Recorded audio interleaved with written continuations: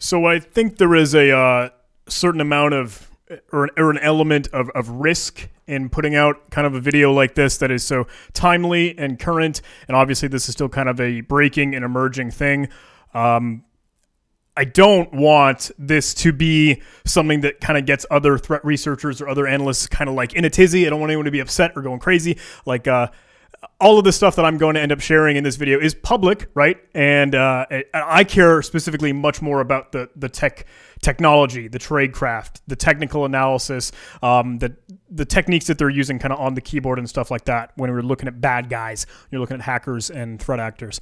Um, what I do want is for this video to be all about education and bringing this into the spotlight and showcasing it and raising awareness because I think that we're doing this sort of stuff, threat research, analysis, threat intel. Um, it's so that we can better the community, right? So that everyone else is kind of in the know and aware of this stuff. So again, this will be kind of just showcasing technology and, and what we're seeing. Um, I will note, of course, that look, uh, disclaimer.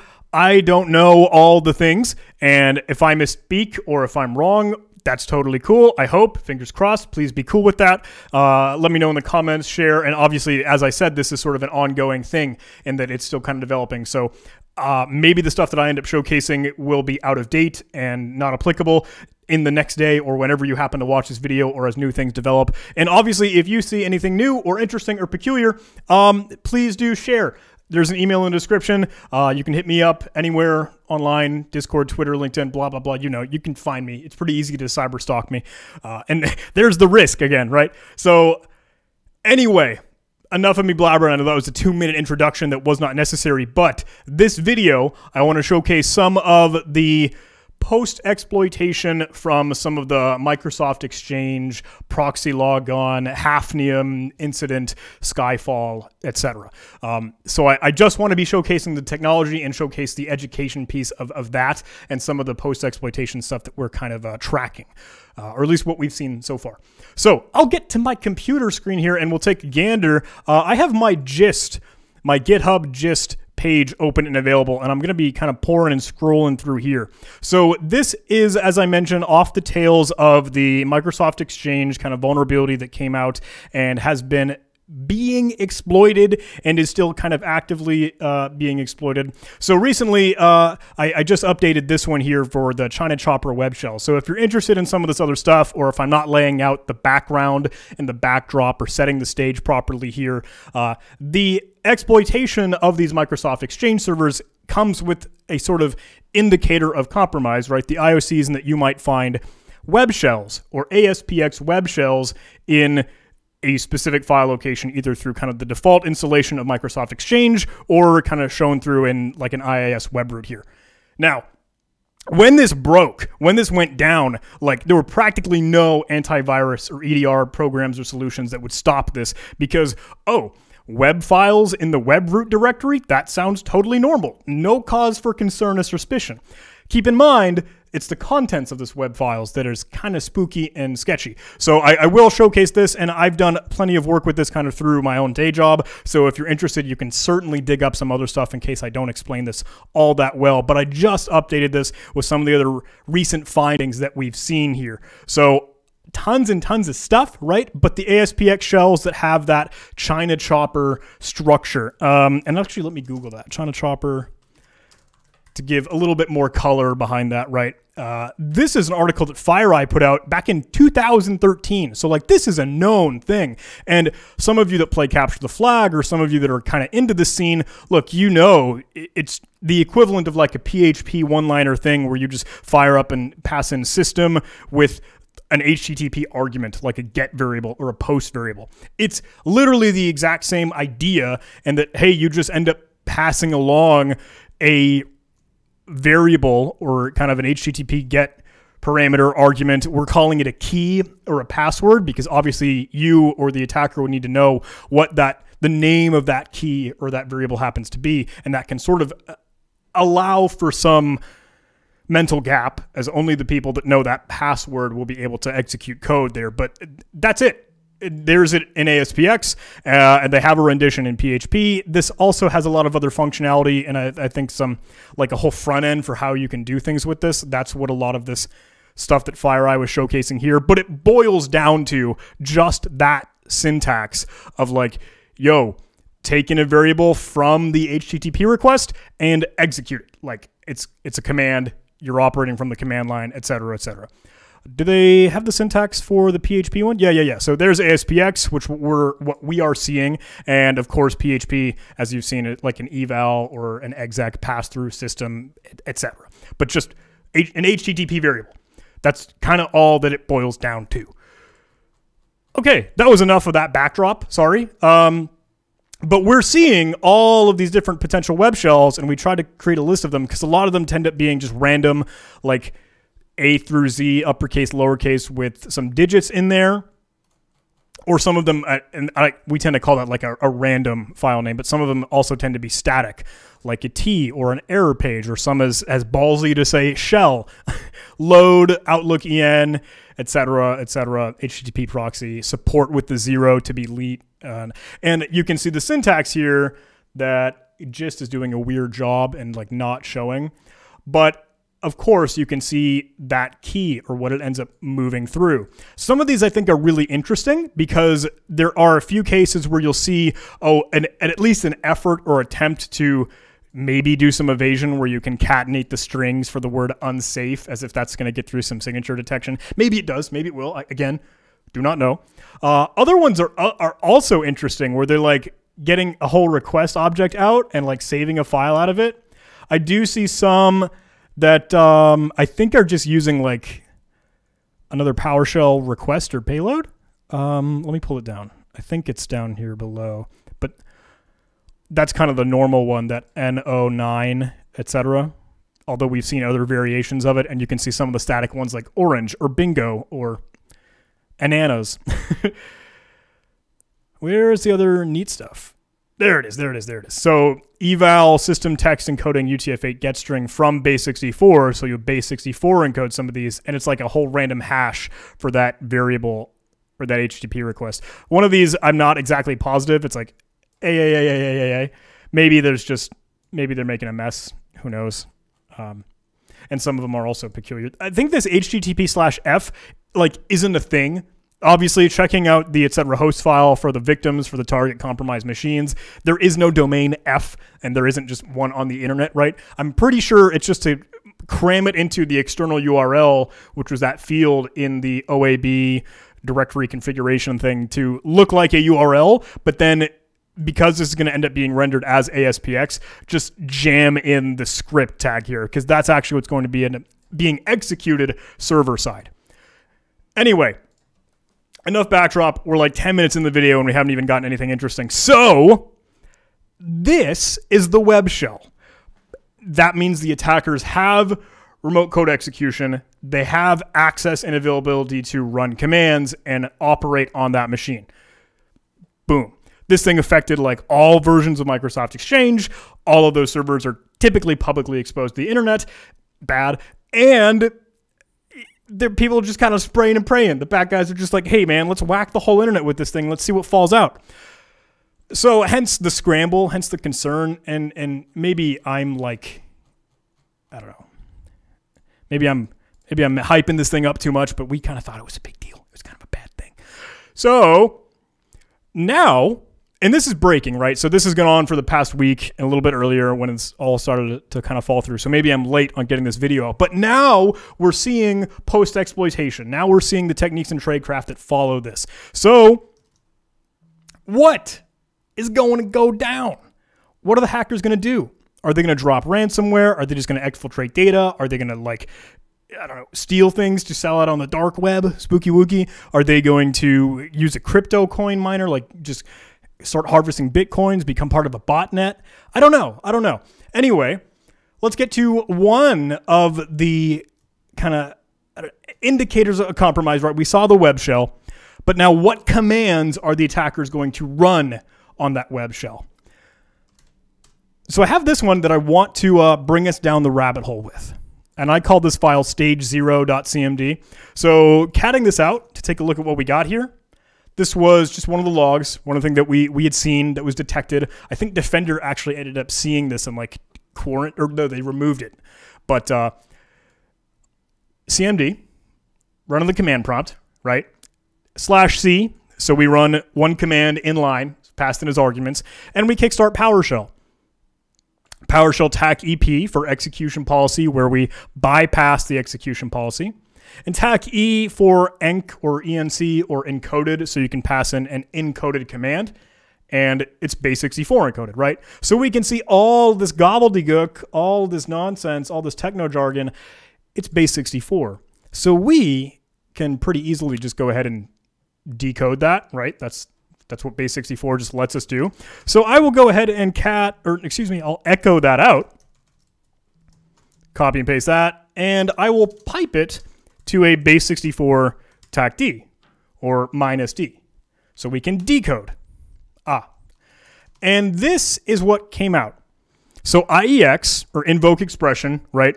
And invoke expression will execute code. It's essentially an eval statement, right? The argument or the string that is passed to it will run as if it were a PowerShell syntax and commandlet. Now, we create a new object net.web client so we can access the internet and we download a string present at this location http p.est09 uh, I'm going to call it pest online, even though obviously it's not. That's not what that says. Um, but that's just kind of an easy thing to to name that with. We can address that problem, and it goes to p with an HTTP variable e included as a as a little get variable there, the question mark. So, what is that thing? We kind of want to know. Hey, what's what is that? What is on that page? Does that page still exist? So I'm going to go ahead and copy that syntax, and I will simply try to see if that actually still exists. No. Okay. So it, it, it, wasn't ending up being a thing, at least not right now. Um, I'll bring this to you because I will lay the foundation in that we went ahead and contacted the owners of, of that. We tried to like some who is. We would try some Shodan to get an idea as to what this thing is. It was a DigitalOcean IP address, as I'm sure you're seeing a trend in uh, the DigitalOcean, I don't know, cloud provider that that this has been this hacker's use. Uh, they're, they're one of choice. And I think Namecheap was the one that had the domain. So we notified them and, and they stopped it. They pulled it down from what I can see now. But I did save the original payload and the tech that came from it. So I want to showcase some of that. Now, again, all of this is present here on my GitHub gist. You can see, yo, I made these a couple days ago when I just tried to store all this and make it visible and, and, and accessible to other people. So this is the PS Online or, or Pest Online, right? We'll call it, and they're stage one. Now, if we go check this out, there's a lot here. I don't know if you can see that horizontal bar, but boom, plenty of stuff. So let me grab that syntax and I will simply call that what do we want to call that? Stage one, right? Stage one dot ps1. We'll slap it in here. And of course, it starts with an invoke expression. Now, let me cat this because it might be a little bit easier to see. It's just a wall of more base 64. However, it's going to end up creating this as a memory stream, taking that base 64, decoding it, and also deflating it with some compression algorithm. Normally, you'll see like gzip being used to decompress some stuff, uh, deflate. Uh, that's another kind of variation, right? And obviously, at the very, very end, we'll go ahead and decompress it and read to the very, very end of it, and it'll execute that because of the invoke expression at the very, very top. So this structure is very normal for a another PowerShell stager. Uh, question is, okay, what is actually in this code? Because we're using invoke expression, we know at the very end of the day, this is going to end up translating out to PowerShell syntax, more PowerShell code. Well, we want to know what that is. So if we were to try and like defang this, uh, sure, we could grab this base 64 syntax all on its own. We could decode it. We could deflate it with, I guess, I think zlib, right? Maybe I'm wrong in that. Yell at me if I'm not, if I am. Uh, and then we could just do it kind of ourselves. Or because it's PowerShell syntax, we can just let PowerShell decode it. As long as we are certain we have removed that invoke expression so we don't actually execute this, so we don't run it on our own system. So I will copy all this and I'm going to fire it up. Oh, I think I need a shift control. Z. And I think I'll throw it in PowerShell, right? So if I'm running this in PowerShell on Linux, I don't exactly know, obviously, because we're just decoding this data. If we were to actually end up running something, then it, if it uses like Windows internals or Windows stuff, and it will just fail. That's kind of the the gamble, the dice roll that you do when you try and run some of the stuff on in PowerShell on Linux. So also have a Windows VM kind of prepared and ready for you. But in this case, it should totally be fine. So let me paste all this in. You can see I have removed my invoke expression. We're just starting with this object here. So I just want to see what this returns. I want to see what comes out of this. I'll hit enter. And there we go. Now we have more code and more syntax. And looks like this is actually pretty telling. So I will grab this. Oh, and I actually didn't finish. I, I didn't get to the very, very top here. There we go. There it is. Copy that. And let's just get another terminal over here because we'll keep PowerShell open up there. I don't think I have a profile set up to change that to blue, but let's get what is it, stage two now? Slap that in. And now we're seeing some more new interesting things. We start with some enumeration. The bad guys are going to want to know what is the computer that they landed on. They retrieve the MAC address with a get MAC. Is that something that's defined in here? No. Oh, that looks like a CMD command. Looks like an old school command. Does that uh, actually work? Fire up my Windows VM. Uh, so now I just hopped over to a Windows virtual machine, right? I have Windows Terminal open, but it started me off in PowerShell. I want to get into CMD because that could end up being. Oh, I don't think I have the stinking shared clipboard on in this. Advanced. Oh. I had to reset this VM some time ago because it, uh, there we go. It was just not behaving with like Windows updates or whatever. Uh, let's run this. Okay, and there we get uh, a MAC address, so that can be poured in. We skip the first line, convert from CSV, get the header MAC, and expand on that MAC. So it just grabs the MAC address. That's all that that variable is going to end up doing.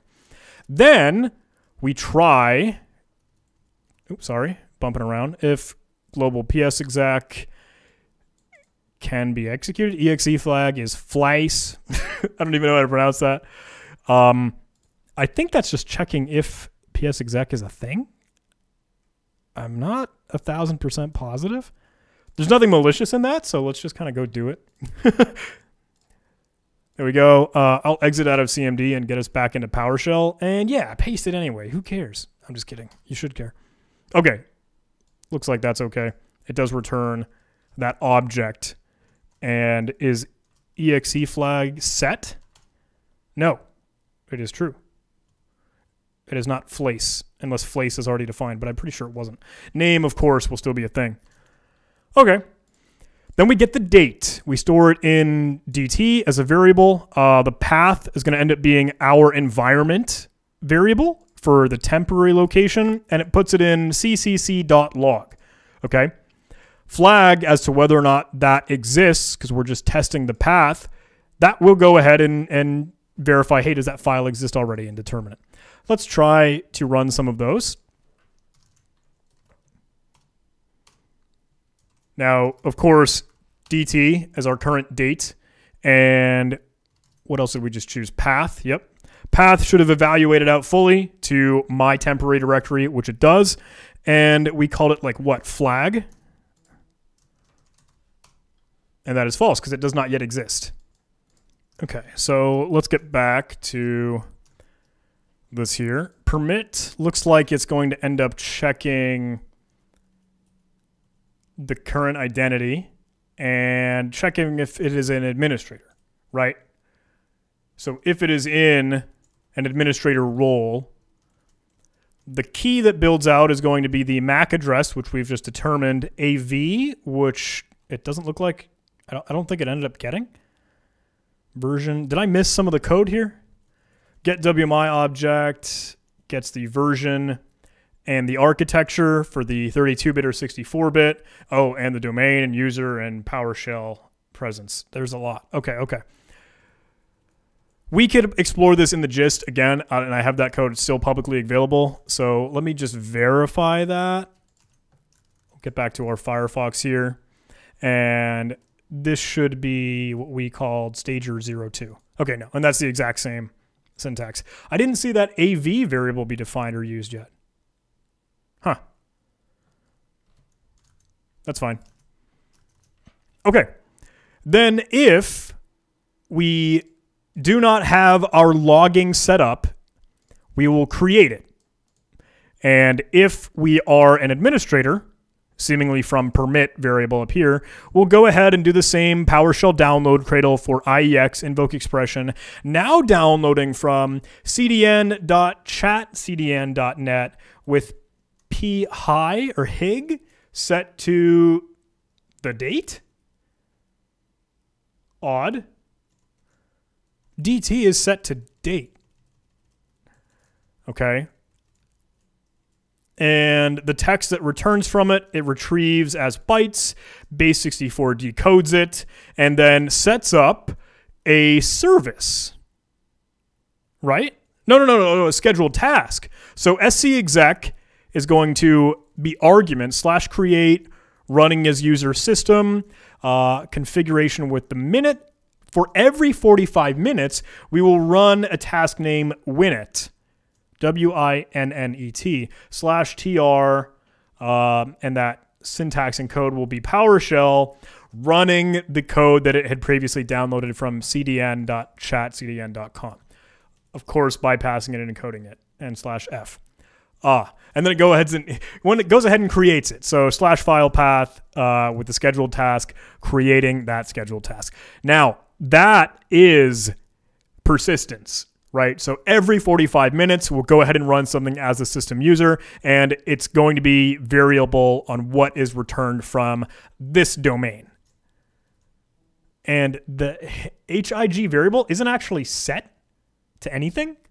It's just including it in the it's just including the date time like in the request, but it's not being used as a variable. It's not being set equal to anything. So maybe they're just using that to keep track of the timing as to when they're seeing these responses. And of course, every 45 minutes, um, well, then they don't even need to run this request every 45 minutes. They've just downloaded that persistent code from that location. Ah, okay. Otherwise, if it's not an administrator, it will download again from cdn.chatcdn.net, low as the argument and dt being the date one more time. But now they aren't using that slash ru or the run user as system because it's just going to end up running in the current context of the current user. So it's not an administrator and cannot use that system level. There we go. We should go ahead and explore what that uh, location is that's CDN, chat CDN. Scheduled task run for Winnet. Task name Winnet, and that's its persistence that it has kickstarted and is now in action, executing every 45 minutes. We should go find out what that is. We sleep for a random amount of time. We try to get a WMI object for the processes that are running, select string pattern for download string. So it looks like it's trying to find its own coding there. If run.length is less than zero, so if it actually found a result and it has not been executed, it creates this onps variable, which is a argument again to cmd.exe slash c running PowerShell, no profile, window format is hidden, execution policy bypass, and tax C for the command that we want to run. And it's going to run another download cradle, downloading from that IP address with an update.png and the key that it has uncovered from all of our MAC address and information, everything that it already kind of extracted with its own enumeration. Ah, okay. And then it will execute that ONPS. And otherwise, it tries to kill PID. Was PID ever defined? Or is that just a PowerShell thing? There's no way that's just a PowerShell thing, is it? PID. Oh, today I learned, right? TIL. That's why we do this, ladies and gentlemen. So, let's go let's go see if this thing is actually exists cdn uh, that chat cdn.net slash p hig or high high and low Hmm. so that one does exist when we were to supply low think we get are these the exact same let's try and redirect that out to hig and let's redirect that to low. And I'm not including the date in here. I don't know if it will actually make any difference, but can I cat hig? That is that. Now, what about uh, low? If I diff hig and low, they're the exact same file. SHA-256 um, hig and low. Yeah, literally the exact same. So no difference whether or not you are an administrator or not in that persistence. Now, what is that going to end up doing, right? Let's go ahead and find out. Um, we have that syntax once again using that PowerShell setup, invoke expression, uh, deflate string from base 64. Let's get everything other than that invoke expression, and let's bring down our PowerShell prompt from before. Slap that in, and now we have this thing. Okay. Uh, goodness. Is this thing like fully reversed? This is disgusting.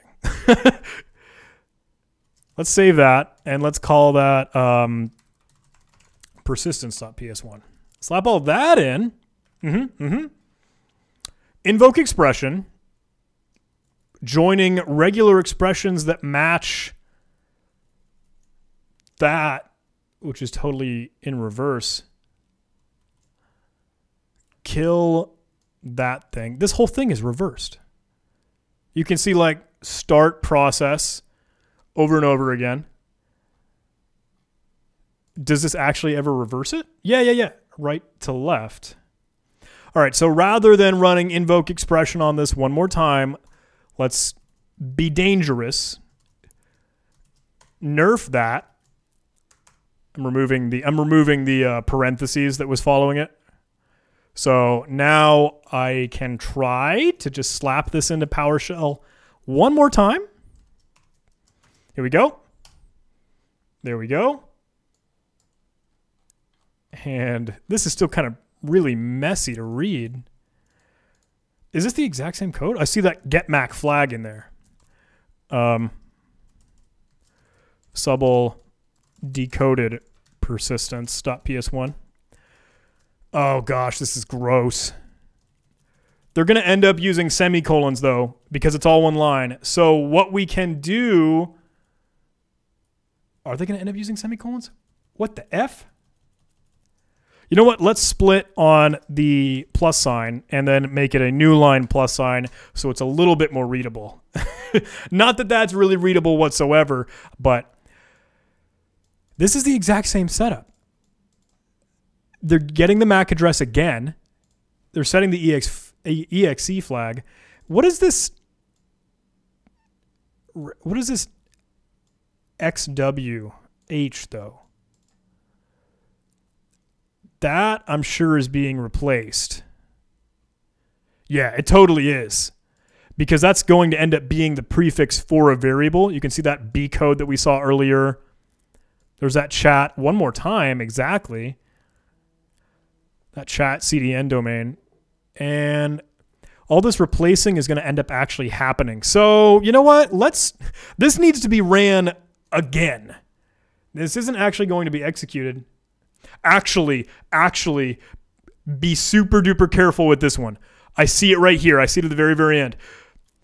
It's piped into an ampersand with PS home index 4 and PS Home index 30 and an X. That should be IEX.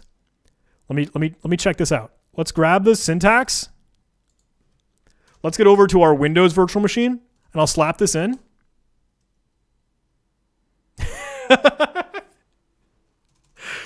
Thanks Windows. I really appreciate that. So PS Home, this is a this is a well-known trick. Um, PS Home, let's get this variable. You can see here PS Home Index 4 like there's the original string that looks pretty benign. It's just where your your PowerShell home is going to end up living and existing. But PS Home Index 4 is an I. And check it out, PS Home Index 30 is an E. So when you concatenate that all together, you get the value IEX. And I love that Windows actually knew that. Like AMSI probably was like, nah, nah, nah. So don't let that execute because that's going to actually run it. Uh, that is a known trick. At the very, very end, they'll try and hide the IEX by wrapping it in other variables and extracting an individual index out of that. So if we were to go ahead and get um, replacing this XWH, right? Uh, you know what? I'm pretty sure it'll end up just spitting it all out as a, with a dollar sign. XWH has got to end up being a dollar sign. So let's remove that IEX and, of course, trust in ourselves. Slap it into PowerShell, run that code, and look, this is literally the exact same syntax. Let's set that to PowerShell. It's doing the exact same thing, grabbing the MAC address, expand, try, except it doesn't have new lines, which is horrific and hard to read. It doesn't even have it doesn't even have semicolons. So what's going on? But there's that again, same IP address update.png. Yep, yep, yep. Setting persistence with Winnet, like forcing that persistence over and over and over again. Dirty. Okay. Okay, I think that's I think that's all that we're going to end up getting out of that. We we still have more that we should kind of review and look at. But before I drive onward, I do want to note that if we were to Google around and try and research some of this structure, like if I were to, I don't know if I'll actually get the hit doing it. I'll go to Google just to go here, see if it's around. No, that might be too obscure. ccc.log. I'm going to I'm going to weird places on the internet right now. I will I will okay, let's cut to the chase. This is a known thing. Like this syntax has actually been seen around. I guess 2019 Carbon Black put this out. Um, thanks Ryan Murphy. Kudos to you. This dives into a little bit more like malware analysis and like actually showcasing the whole storyline. So kudos to you, much better than me. But take a look. Uh, they do this exact same setup where it's obviously going to end up being another PowerShell download cradle. But once it pulls itself down, once this PowerShell payload in that download cradle runs, you end up getting some other obfuscated stuff that eventually turns into the exact same syntax that we've seen thus far. IEX for string MAC, getting the MAC address, doing this, literally using ccc.log, using the exact same log file, the exact same code and techniques, creating where is it Winnet? Yep, it's Winnet. Once again, that persistence. Downloading from chat.cdn.net. Downloading from a different IP address here, but slash update. So this is only one route. Obviously, like this is only one of the command and control post exploitation techniques that we've seen thus far coming out of the Microsoft Exchange incident. But this apparently is already a known thing. Um, there is research on that from from two years ago. So I can uh, link this in the description if you have any interest in reading along on that. But we thought that was, mm, mm, what is this? We we have apparently already known about this in in our world. So wanted to showcase that, and, uh, and I'll share that with you all as well. You might remember, ladies and gentlemen, that we are not yet finished in what we could do with this stage 2 file because we checked out cdn.chatcdn.net but there was one more IP address. There was one more location that we could end up going right down here when it tried to execute code coming from this IP address 188, 166, 162, 201, update.png. It'll include a key. And I don't know if I need to supply that right now. Uh, let's see if we actually get a response without it. And of course, like classic, right? We've seen it before trying to smuggle PowerShell code inside of a PNG file. Look, it's not a PNG file. let's curl this down. Let's see if it still exists. And it does. so more dirty work in here. Um, let me actually save this copy of what is that stage3.ps1. Now I have this still stored and saved in a GitHub gist. Scrolling back, uh, this was the update.png.ps1, and this is a large file. So if we were to view the full file, um, I'm just going to copy and, and save this as well.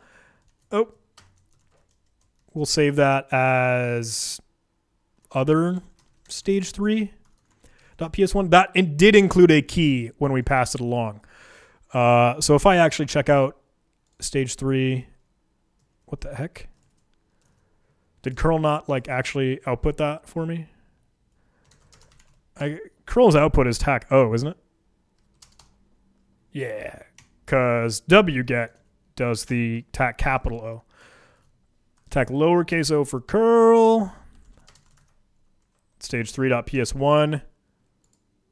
What's going on? We just saw that output. It's right here the, file is huge, granted. There's a lot of base 64.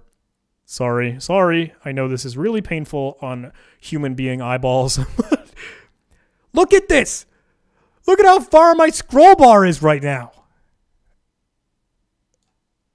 I mean, it got it. No, no, no, no. That's that's actually from Hig. Shoot. You can see the previous commands. That was that was from a, uh, an earlier one maybe for the sake of our own sanity, we should, yeah, you know what? Let's stop. Let's stop. Let's just get the one from the gist, uh, and we'll use that other stage 3.ps1. Good enough. So, what do we got here, ladies and gentlemen? Same exact setup, ginormous line. Let me actually check that out. LSEC LA, other stage 3. This is two and a half megs. Mm-hmm.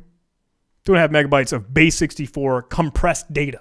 So, if we were to see all of this. There's a deflate stream, all of the noise, and the nonsense. Going to the very, very end, there's nothing else in this. So, as usual, let's nerf that invoke expression, copy that syntax, and let PowerShell do the magic for us. Um, I'm going to end up slapping this all in, and it might take a long time. You know what? That was a horrendous idea.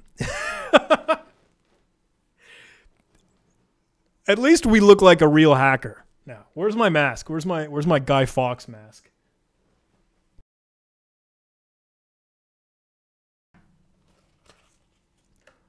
We try to have fun here on this channel.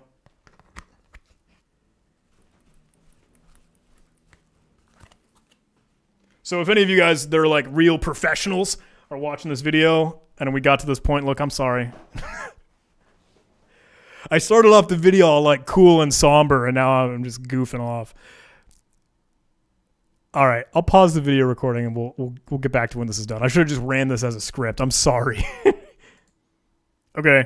Hi. Uh, I I tried to kill PowerShell to stop that from happening. Uh, it didn't work apparently, so I just uh, ran it and redirected it out to a, a stage four and I opened that up. So before I dive in though, let me take a look at this. This stage four is now uncompressed, right? Decompressed, and we got three megs. So let's take a look at that guy. Sublime Text is like, I'm trying to trying to catch up with you here, John. Um, but this, this one, I think is neat, and I do want to showcase this to you. So, take a look at that first line. First of all, really wonky, really messy, and this is ginormous. I don't know if you can see my horizontal scroll bar down at the very, very bottom of the screen, but there's a lot going on, and it takes a long, long time to get to the very end of that line. Uh, let me table that for the moment, but scrolling down, we can see other PowerShell syntax that might be continuing on from the very end of that line. Um, but following that, we create this function. Oh, sorry. I'll scroll down here. DHWE kid. Um, it creates some bytes and variables and all these things here. Uh, that some of this is obfuscated, right? And some of it is not, which was weird to me. Like you can see these functions here. New new packet SMB2 session setup request. And it's like creating SMB packets. Um, make SMB1 trans2 exploit packet. I think some of this actually comes from Empire, and I might be wrong in that. But I'm, when we were when we were kind of hunting around, googling as to WTF is this thing, we I thought we saw some uh, semblances there. But uh, and some of them have like different, completely random uh, conventions for how they're naming their functions. Some of them are like a more PowerShell like verb noun set up with capitalization, although some of them have like the all lowercase snake case um, that we just saw earlier. And it's just kind of weird. So as I was scrolling through here, and there's a lot, right? There's about three megabytes of all this information. A lot of it is um, those function names that we saw for SMB. You can see invoke SMB, C, maybe that's channel. Uh, and I won't end up going through a, a, huge analysis on this the way that it stands right now, but I'm going to keep cruising through because maybe you might have noticed the same thing that I noticed that I thought was incredibly weird and incredibly strange. So, first of all, uh, uh just to make our analysis somewhat easier and sane, and this is what I ended up doing while I was going through it in real time, is that I would try to look for all these function names. Um, so I'd look for function dot whatever, and I would just hit find all. So I'd have them all selected, and I'd copy them out and bring them into a new file. So that way I could look for all the function names. I guess I'll uh, make some of these capital function. Oh, so it's not going to give me that syntax? Whatever. Oh, it's because of these curly braces. Um, but this at least gave us a, a decent idea as to what all this code was doing. Now, as I scroll down here, some of these are very, very strange. I don't know if you see this KDHSD hyphen, there's a string and a comma, and then random base 64 all the way at the end. And then it just adds an if statement way off to the side. That didn't make any sense to me. And it wasn't just that one. There were multiple. Were make SMB2, et cetera, et cetera, et cetera. Function main that would be worthwhile to take a look at. Another new TAC P, random base 64. So looking through that, that kind of tipped me off initially.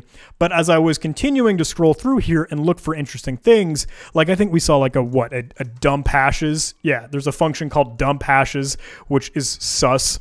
Um, I think there were some other odd ones, but keep an eye out for this weird setup where you have these uh, single quotes and commas and then other random base 64 data that makes no sense.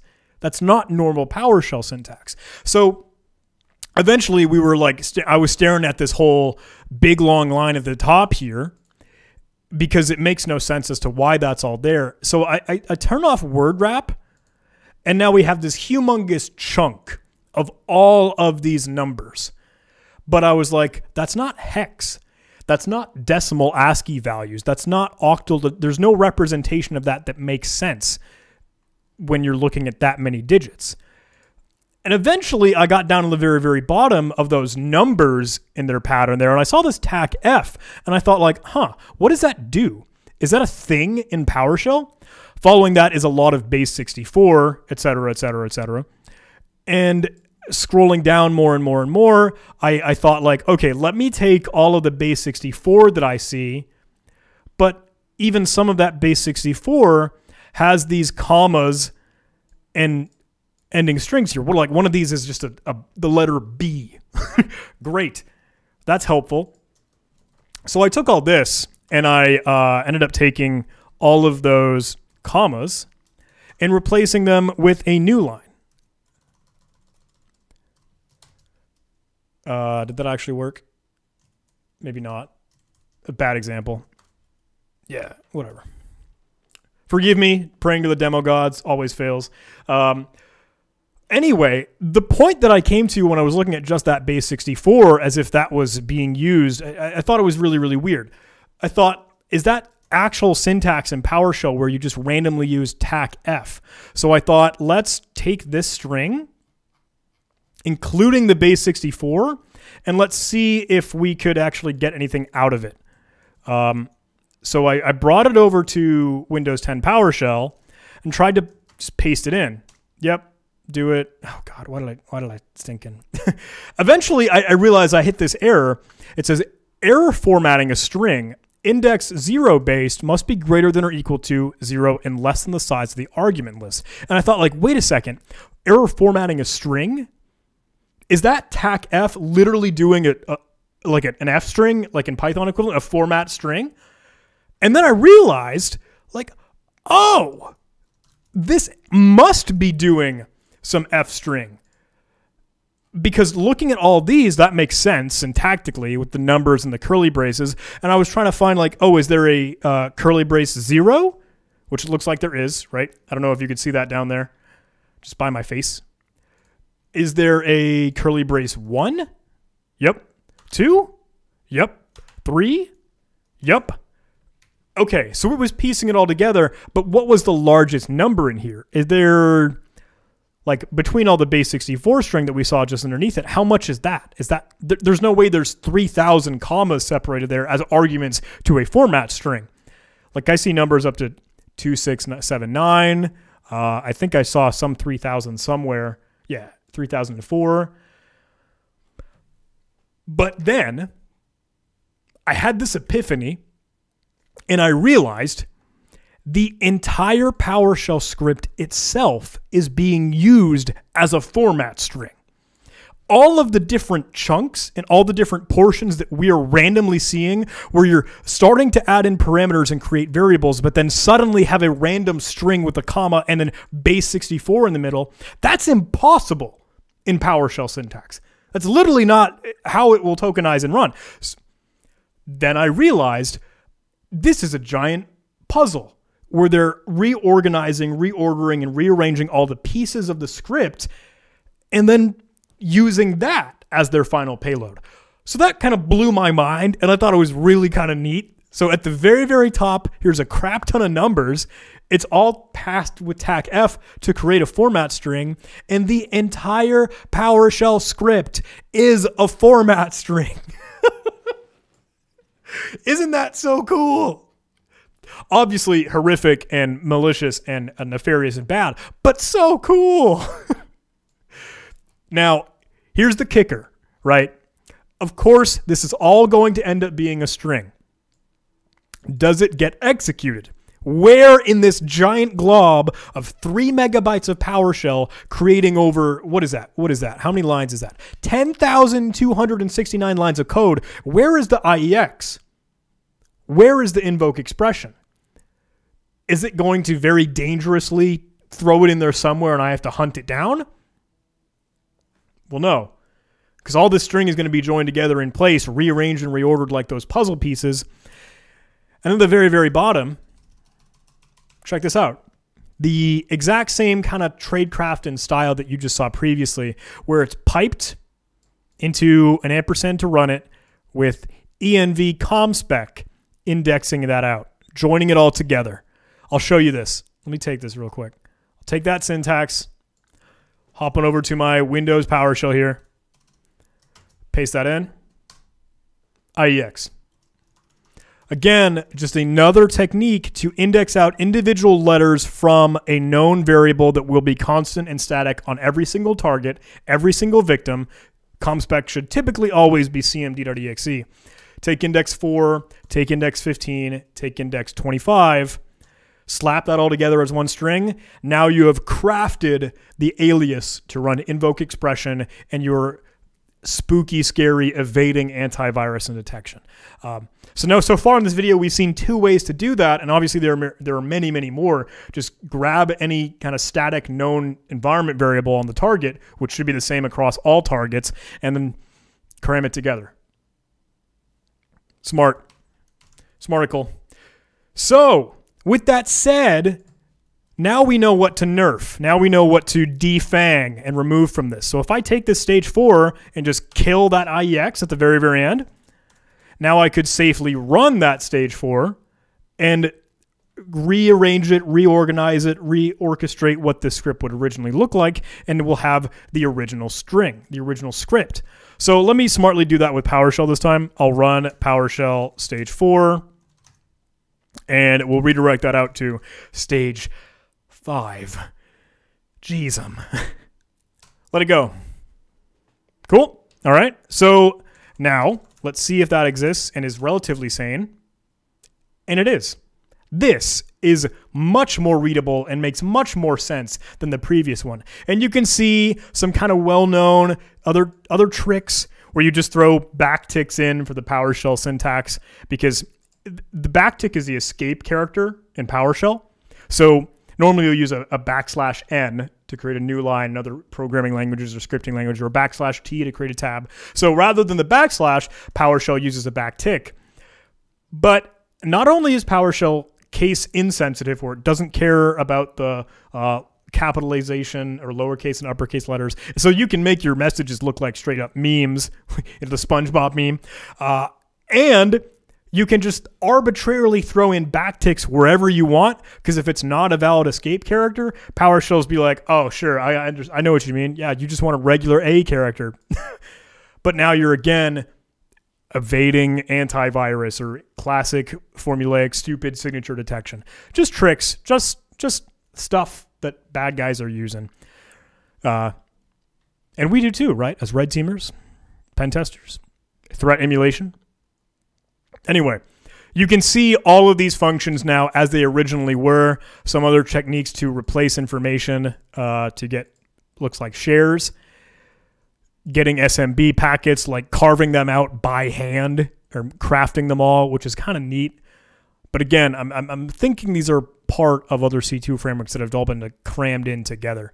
Again, now if we were to try and look for all the functions here, and we can do that, I won't actually pour through all of this because I think you get the gist and that those techniques they're using, replacing the back backticks, etc., etc. But a lot of this is actually kind of like decently readable, you know? if we wanted to, we could remove all those backticks, but some of them might actually be in different places. But the the waj waj, the replacements, those techniques are, are, are present. How far are we going? How many how many lines do we need to go in here? Oh, here's a good one though. Before I go too far, I did see this. Us getting versions right, checking for the operating system, et cetera, et cetera. And as you scroll down, you do see this giant chunk in yellow here. And now we have inline C sharp code because PowerShell can do that, right? So PowerShell can create this multi-line string with that at symbol, and it will have a pingcastle scanners namespace. Create a specific class where we have a scan function or functionality here, where it'll do some TCP client, and it'll try and connect to the argument that's passed in on port 445. Good old SMB, right?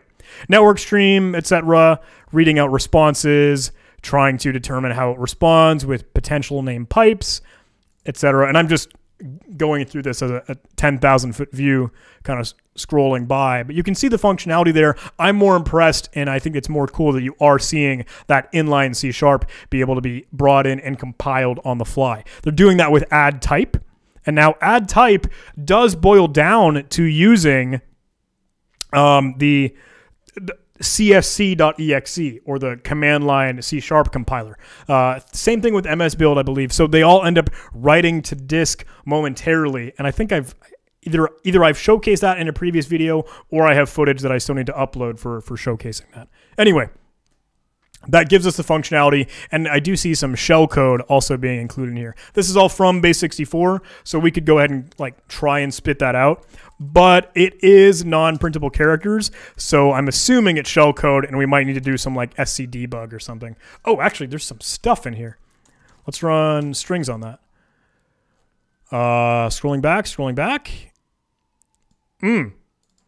CMD slash E, netsh.exe to take the firewall, add some opening ports,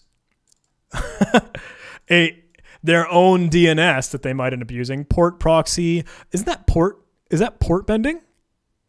Yeah. If you haven't, uh, I think that's a that's a neat technique where you can like redirect one port to another one, even locally. So there's a port proxy syntax. Uh, scheduled tasks, of course. What do we have? Do we have Winnet in there? No, no, no. It's called sync. Ah. And every 40 minutes, we'll have a scheduled tasks run that will sync. And what is that PowerShell syntax? I, I don't think I've actually gone down this road yet. Is that different from that one down there? I don't think it is. Let's try and echo that out. Pipe it to base 64. Nope. It's our good friend uh, Pest Online with 32. Oh, oh, oh, oh, wait a second. 32? What is this other one? The one at the very, very bottom. Is that going to be like 64? Is it checking the architecture? Oh, it might be. Let's try and get that in there. Oh, sorry. Echo. And I did just grab the bottom one, right? P64 Tech D. 64! All about that architecture. All about that architecture. Cool, cool, cool. Okay. I if actually let's take the original one and redirect that out to like um, shellcode. How about that? What is that? It's just data. We already ran strings on it, so I, I think that genuinely is shellcode. It's not going to be like its own binary or anything. Let's um let's get back to stage five. Now we have a local scan function where it looks like it'll take in IP addresses and genuinely scan them, avoiding or is it including local IP addresses? API, IPify, I'm assuming that's going to get its yep, their their public IP address. Begin connect, etc., etc. Power dump, is that a thing? What is that? Hmm. Um. Load API. This looks like the classic syntax to dynamically load in an assembly. Power dump. Is that a thing? Power dump. Ah, Empire. Imagine that. Just as we said. Okay.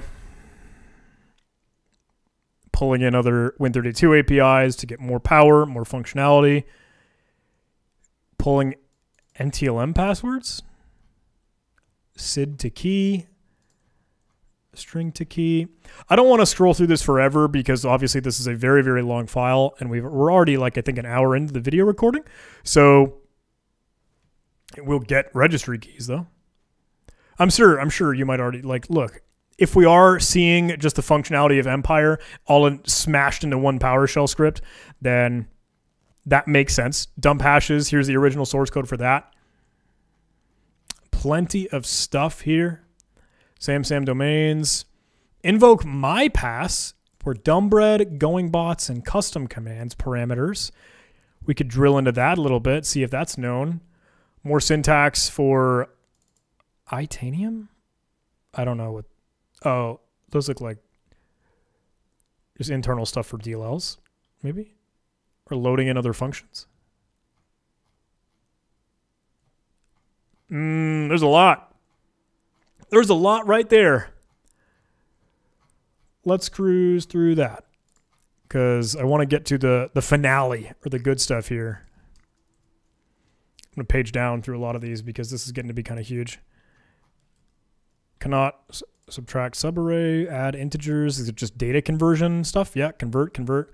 Uh, test memory range. See if it's valid memory. Write bytes to memory. Get delegate type. Aha. The classic. Enable SE debug privilege. a lot of good spooky functionality in here. Windows Vista or 7 detected using a different API call. Here they're keeping track of what target the victim is, what operating system that is. We're getting the good stuff. I'm getting slowly, slowly, slowly to something more interesting. I know there's one last layer of the onion that I want to get us to and then we can call it the end of the video. But I hope you had fun. Hope you had fun cruising through all this with me. Get command line functionality? No. Virtual protect invoke. Is it rewriting? Is it changing some stuff in memory?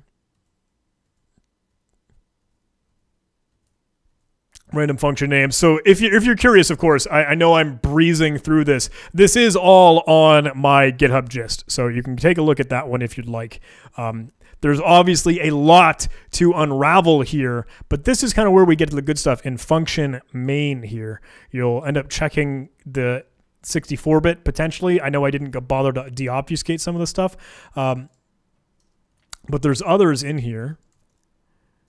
And here we go, I think. No. Where are these bytes coming from? Are those defined? These base 64 ones I do want to showcase, but I don't know if I already scrolled through them. If anything, I can uh, turn off word wrap and they will, or turn on word wrap and then they will be extremely visible. But oh, look at this! Look at this! these are these are uh, Mimikatz commands. Sekurlsa, crypto. Yeah, yeah, yeah. Oh, here they are. Here are these bytes. So, checking out these bytes here. This is all base 64, of course, right? So we can echo and, and decode all that. So let me echo this one. Oh, how's my how's my terminal doing? Okay, he figured it out. Base 64 tag D, and where did that one? What was that one called? Bytes 32 or DES bytes? Um, des bytes, we'll call it. And let's check out what that is. That is an executable, 64-bit. Okay. Let's get this 32 one, bytes 32. Let's echo all of that out to a base 64 minus D. My face is in the way. Just trust that I am redirecting that out to, um, what was that called? Just 32? Or, uh, we'll call it 32. Fair enough. Let's cat that 32, or no, no, no, let's run file on our 32. And that is 32 bit, right? So our des bytes is 64 bit, and that 32 is 32 bit. Makes sense. Now, running strings on, let's go for the 64 bit one, you can take a gander because unfortunately, right, unfortunately, these are not uh, .NET compiled ones. So I wouldn't be able to crack this open in dnSpy or ILSpy and kind of get an understanding for it. We can throw it into Ghidra, uh, and maybe that's worth a try. I, I, I, just installed Ghidra over on the Windows side, but I don't know how far I'll be able to drive into that. Uh, at this point, though, we've reached the end of the tunnel where we have a more solid binary, so we can kick that over to um, kick that over to VirusTotal or take it over to like Reversing Labs or Joe's Sandbox Analysis or, or ANY.RUN, whatever, whatever, whatever. We can see if that lights up uh, any antivirus scanners.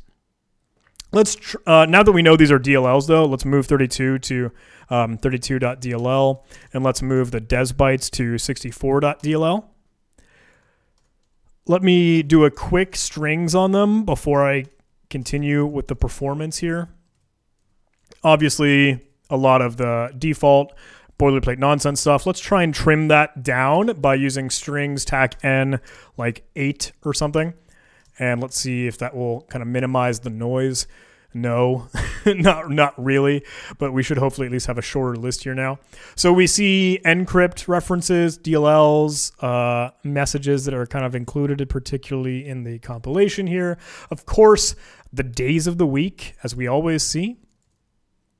Um, I don't know what these really are. On, off, L size, true, extra full, natural, left to right, full, inner across. I thought that was kind of spooky. I do see SQLite references though, um, and I also see these potential like data names or, or, field names for like stuff that will be stored in SQLite. Um, like these NTLM passwords or LM password history, et cetera, et cetera. Timestamps, a lot of API potential function calls. And obviously, we're just looking at strings, right? So it's not going to be super duper telling. We'll fire open in, in Ghidra in just a moment, but uh, after we kick it to VirusTotal and stuff. Mm-hmm. And then you can see like straight up SQL syntax create table, auto increment, delete from, update, table names, and it's definitely using a SQLite database for keeping track of stuff. Uh, random blob, zero blob, et cetera, et cetera, et cetera. Too many arguments. Is there something more damning here? Oh, here we go. Here we end up checking out some cryptography stuff. Bcrypt, encrypt, import key, and of course, a good old Mimikatz string. Hello. Welcome. Thank, I'm glad you could make it to the party, Mimikatz. System flags, system flags.text records. LSA, that must be something for getting pouring things out of LSASS maybe. And of course, bcrypt, encrypt, all these other functions. But look at this, look at this, look at this. powerkatz.dll and reference to power. oh, moving my face again. I get it all the time. Move reference to PowerShell reflective Mimikatz. Um, we're looking at strings, mind you, again. So it's hey, it, this isn't a smoking gun or anything, but now that we have a little bit more of functionality or, or, an idea as to what this thing might be doing, let's kick it off over to our good friend Virus Total and uh, see what we got. Here we go. Let's go to VirusTotal, virustotal.com. Once the internet loads, I'm waiting on the entire internet to come back for me here. There we go. Let's uh, upload a file on, we had what? My X was the directory that we called it. So 32bit.dll, let's fire that one up. And 52 out of 70 engines detect this one. and they're saying, yo, Mimikatz, Mimikatz, malware, malware, hack tool, Mimikatz, Mimikatz, Mimikatz, Mimikatz, Mimikatz. Dude, it's bloody. There is some carnage on this virus total page right here. What does the community say? Yep, reflected Mimikatz, reflected Mimikatz. This, this is the same person over and over again. um, let's try and give it that 64-bit DLL. 54 out of 70 engines. Nice. Mimikatz, Mimi Cats, Mimikatz, Mimi Cats.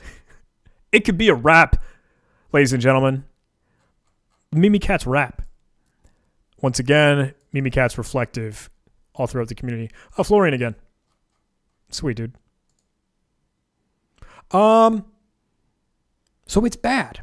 I think we can come to that conclusion. That, uh, uh, from what I understand, and uh, let's see if we can actually throw it into Ghidra. Uh, I'll try and see if I can upload this. Uh, opt http server. Yeah. What am? What is my IP? Let's get a IPAS. Ah, I have multiple screens. What am I right now locally? I am 17. Can I reach that from my Windows VM? Port 8000, please, please, please. Yeah. All right, cool, cool, cool. Let's download a 64-bit. Let's see if Chrome was cool with it. All right. Nope. I spoke too soon. Chrome doesn't like it. And Defender's probably going to whine on this thing too, obviously. They'll be like, no, it's Mimikatz. What are you doing, John? let's uh let's see if we can get see if we can get him to to shut up real quick. Um manage settings. Please stop, Defender. We have to uh virus protection is turned off. You might want to turn that back on, bucko. How did you know? Let's uh copy this and try and W it down. How about that? Let's get to the old desktop here. Let's uh, wget, because that's an alias in uh, in PowerShell. Out file 64.dll. Fingers crossed. Please. What's happening? PowerShell is just hung up on the phone, dude. I have I have no output. Do I need to have that earlier? Like use basic parsing should be after? Basic parsing. What is happening? Come on. let's do a little let's do a little invoke web request. Invoke web request. Slap. What's happening? I'm gonna have to pause the video because I'm just crumbling at a simple wget command, everybody.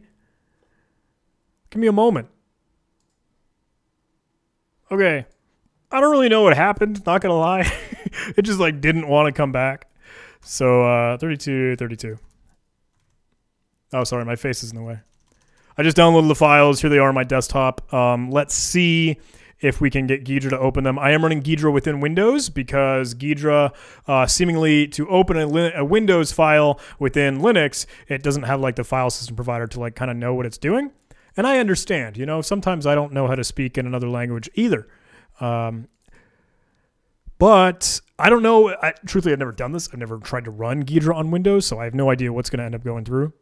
Um, let's create a new project, see if we can get anything here. And uh, non-shared project, we'll call it Ghidra in lowercase. Totally cool. And then let's control I before the internet yells at me that I get that wrong um, to try and explore some of these. Control I to open up a binary. Once again, no file system provider. If I drag it in, let's see if it'll figure that one out now. Yep. Okay, cool. So I have seen that error come up before recently, and someone commented on the video, uh, the last video where I was trying to use Ghidra, and they're like, no, no, no, John, John, no file system provider It's just some strange thing that happens. If you can drag the file in, it, it does behave. So forgive me on that. I think I commented on the video, like, please forgive me, internet. I'm said, truly sorry. Uh, but let's see if Ghidra can uh, pull it together on this one. Taking a sweet time. Pause the video real quick. Okay, looks good. Pulled it in. See if we can analyze it. Again, I don't know where this is going to go, so this is me op operating at the edge of my understanding. See if we can analyze it. But, I mean, if it's just going to end up being Mimikatz, at the very least, we know, hey, it can try and dump passwords and things and credentials out of memory. Um, I don't know exactly what this will look like, but we could pour through it There we go, entry. And it tries to run based off the parameters here. If parameter is one, it'll call this thing, which calls other functions. And this is kind of hard to see. The, I know that I would need to increase the font and everything here, but it's all going to end up being stripped. Um, and all of the VirusTotal stuff that we see does indicate that, yo, this is uh and it's not like you can just scan it. It's not like you can just open the thing up in Virus Total and say, "Oh, it's bad. It says it's bad, or it says it's good. I'm going to totally ignore it." Uh, you got to take that with a grain of salt. Obviously, exploring through it in Ghidra is something that you can and should do, even if it's just clicking around trying to see what they do. Like all the functions here. Like if we were to look for, hey, PowerShell reflect Mimikatz, there it goes. It's a function. What else do you do? Uh, check out the command line arguments. Try and allocate memory uh, what is this guy? Run thing? Explore it. Fast calls here. Truthfully, I'm out of my element when we get to this point. I had a lot more fun with the PowerShell. And it, uh, when we get to the point where it's like, yo, we've got the binary and this lights up on some community threat intelligence stuff between VirusTotal and all, I think that's enough to, to call it quits here.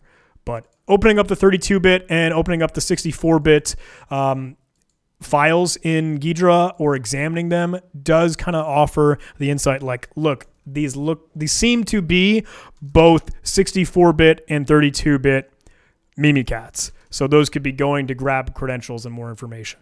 Um, that has been one route in what we've been or I've been uncovering, kind of pouring through, exploring, and, and you can see some of my other work if you Google it around. But uh, all of those other stages as we pour through them are available again through my Gist GitHub, and uh, this has all been obviously released before, so I don't want to be letting the cat out of the bag on anything or, or making anyone upset like it, it's okay. We're trying to all get better. We're all trying to get smarter and, and understand the the post exploitation that might go on or what's happening next year. So I've seen other occurrences where folks are reporting like, hey, they're running net.exe commands to add and remove administrators in the exchange group, right? Obviously, in the Microsoft Exchange uh, incident, we're seeing registry commands like reg query, reg dump, reg save to pull down SAM databases or other information. We're seeing procdump. Obviously, now we're seeing Mimikatz to gather information, passwords, et cetera, et cetera. Um, it's starting. It's still coming through. It's still, but we we need to all come together, right? And I say this all too often that it takes a village. You know, we're all trying to share this in intelligence as we're gathering. So please don't hesitate to offer or join in the fight, join in the fun. Uh, if there's any IOCs that you might want to share or other things we can examine and analyze, analyze But I have repeatedly wanted to emphasize my disclaimer and that I'm not a thousand percent positive and I don't gu- guarantee any of this, but I wanted to showcase it and drag us through some of that code because I thought it was cool, kind of neat. Um, I will say none of this goes to say none of this goes to show or none of this says or means like oh this is hafnium. No, I can't say that. We can't say that. We can't say uh, it is one specific actor or multiple or is it being re-exploited. Uh, we just don't know. I don't know. I don't know. Uh, and I'm not going to pretend like I do. Uh, I don't want to be in speculation corner, especially when folks are like, "Is this country XYZ? Is this attribution?" Look, uh, it's bad, and we got to get the bad stuff away, no matter who made it or what it is or where it came from. Like, get know, understand that it's evil, and then stop the evil. So that's enough of my rant. That's enough of this video, but. Thank you so much for watching, everybody. I think we can tune out now. Uh, I really, really hope you enjoyed this video. I really hope you had some fun with some of the PowerShell stuff we were carving through. I hope it had some uh, real world application to it, and that yes, this is a ongoing, growing story. Um, there's more to come, and again, maybe my analysis is totally wrong, but it, it was kind of fun to unravel and pour through those those PowerShell onions there. When we're getting to stage five to getting to stage six with this Mimikatz DLL that's loaded in wow. Um, there's more to do, though, so we're, we're not over yet. It's not over yet. So thanks so much for watching, everybody. If you enjoyed this video, please do press that like button. Please leave a comment below. It helps the kind of YouTube algorithm engagement stuff. So if you're willing to, please subscribe for more videos like this. I have a lot in the canon, and people have been sending me some great malware samples. So please do, please, please, please keep it up. Um, please do send along any uh, malware samples that you are interested in or kind of want to take take me to take a look at. There's a link or there's e my email in the description, so please keep sending them along. It's very cool, very fun. We can keep growing this thing. So uh, before I go, before I forget, I do want to mention quick little uh, notion here. Yo, NahamCon. NahamCon is coming up. NahamCon is happening this Friday. And I want to throw in this pitch before the end of the video uh, because I should have done it at the beginning, but then no one would actually watch the video. Look, if you haven't registered for NahamCon, I'm hosting the game. My guys, my team, my friends, we're all putting this game on. We have over like 70 challenges like a ton of challenges for this weekend competition 48 hours uh, that this coming friday to this coming sunday. Uh, we have some fantastic sponsors that are offering some sweet sweet prizes. INE has thrown in some incredible stuff. I think red bull is trying to get everyone drinks. It's so so awesome. Uh, and we're going to be showcasing some other neat challenges. This is all new stuff. We're going to have a ton of fun. So please, please, please register. Come play. Come hang out. CTF.nahamcon.com. We'll see you this coming Friday. But we're going to have a blast. And uh, you'll see some challenges a lot like this. A lot like this uh, neat malware analysis stuff. So. Okay, that is the end of the video, everybody. Thanks so much for tolerating me. I hope you enjoyed this one. I love you. I'll see you in the next one. And uh, keep on the fight we're, we're all here to, to learn and keep growing. So share it with the community. Thanks, everybody. I love you. Take care.